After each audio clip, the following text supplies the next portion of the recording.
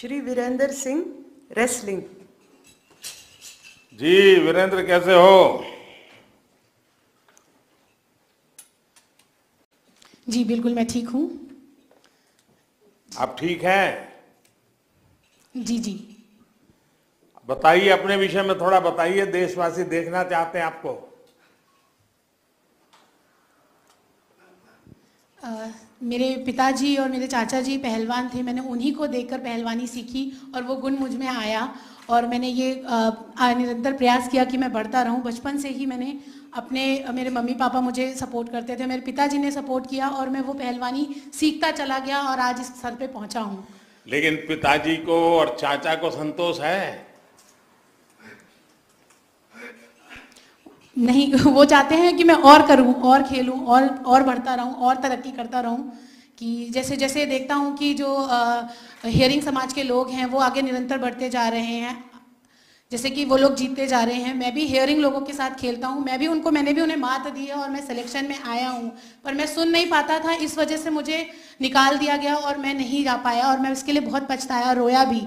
पर फिर मैंने बधिर समाज में, जब मैंने अं- अंदर आया, मैं आया तो मेरी रोंगटे खड़े हो गए और मैं खुशी से मारे फूला नहीं समाया कि मैं जीत गया। जब मैं मेडल पहली बार जीता, ऐसे ही मुझे लगता था कि चलो छोड़ो, अब मैं क्यों हेयरिंग समाज के पीछे जाऊँ? अब मैं बधिर समाज में ही एक नाम कमा सकता हूँ और मैं उसको निरंतर आगे बढ़ सकता हूँ।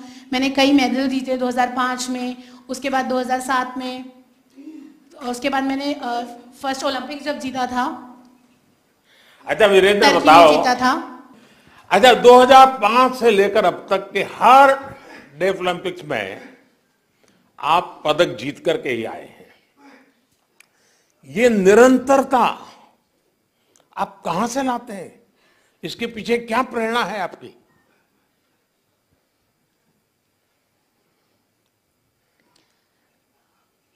मैं डाइट पे इतना ध्यान नहीं देता हूँ, जितना मैं प्रैक्टिस पे ध्यान देता हूँ, मैं लगातार हेयरिंग लोगों के साथ प्रैक्टिस करता हूँ, बहुत मेहनत करता हूँ, वो मेहनत जाया नहीं जाती है। मैं बिल्कुल देखता हूँ कि वो कैसे खेल रहे हैं और उसको निरंतर बढ़ता रहता हूँ। सुबह शाम मैं लगातार प्रैक्टिस पे बहुत ध्यान देता हूँ। मेरा एम रहता है कि मैं बाहर कहीं जाऊँगा खेलने तो मैं अपने माँ बाप के चरण स्पर्श करके निकलता हूँ अपने देश को छोड़ के और मैं उनको याद करके ही खेलता हूँ और मैं खुश रहता हूँ कि मैं विजयी होकर आया हूँ। ये मेरे मन में मेरी आशा रहती है।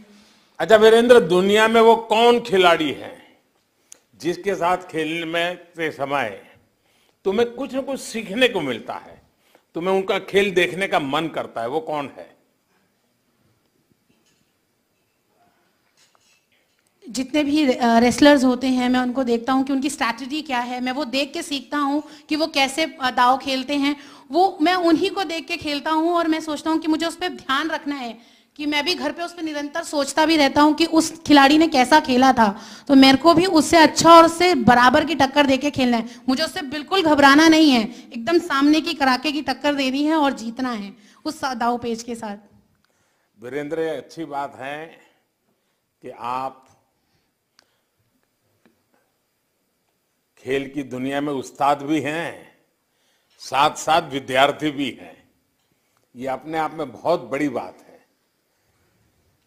आपकी जो इच्छा शक्ति है वो सचमुच में हर किसी को प्रेरित करती है।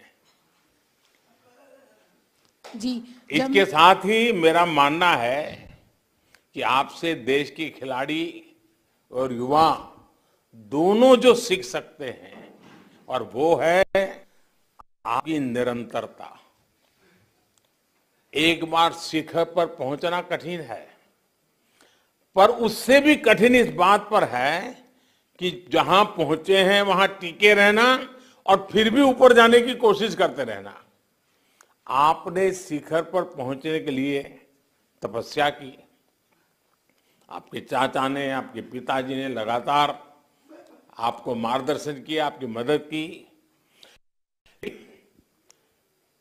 पहुँचने, एक बात है, पहुँचने के बाद टिके रहना ये मैं समझता हूँ आपकी गजब की ताकत है, और इसलिए खिलाड़ी जगत इस बात को समझेगा, आपसे सीखेगा। मेरी तरफ़ से आपको बहुत शुभकामनाएँ हैं बहुत बहुत धन्यवाद।